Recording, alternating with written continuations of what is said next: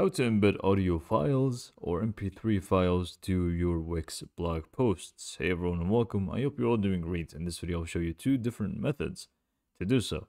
The first one is going to be very straightforward and simple because you can just get an audio file uploaded and then embed it right away. The second one is going to be, we're going to be using a third-party um, tool which is going to help us get specific templates for audio files and so on.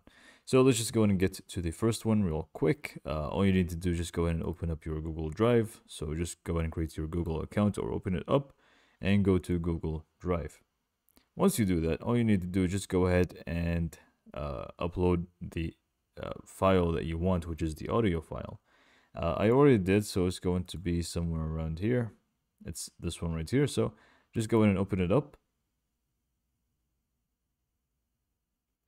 I'm just going to pause it, and then you need to make sure uh, to make sure that the share access is anyone with the link. Uh, by default, is going to be restricted, but just make sure that it is anyone with the link. Once that's done, you just want to click on three dots right on top here and click on open in new window.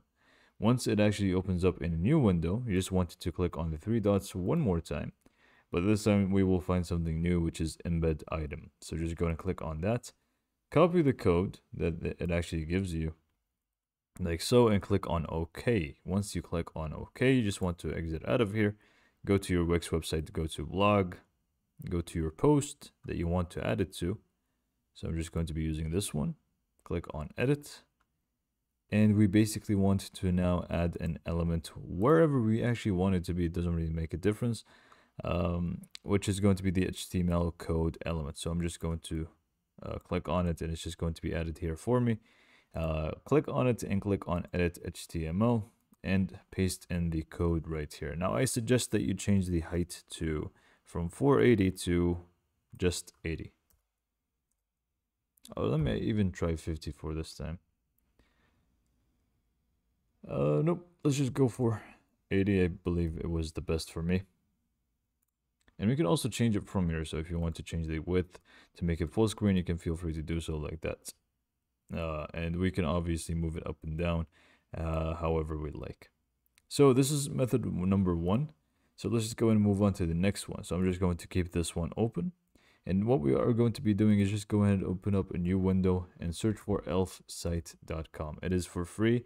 I mean, at least the account is for free and, you know, you can actually use it for free, but there are going to be a few rules that you will need to um, abide by in order to make it for free. If not, uh, you will need to pay for it.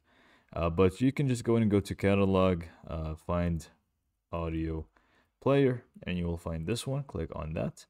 They're going to give you plenty of different templates to choose from.